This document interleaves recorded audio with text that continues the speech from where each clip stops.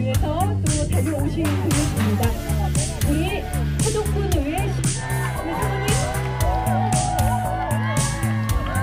네. 자, 그리고 우리 또 역시나 동원이를 응원하는 마음으로 여러분들께 또 훈육하는 인사를 함께하시기 위해서 함께하시기 위해서 또 달려오신 분이십니다.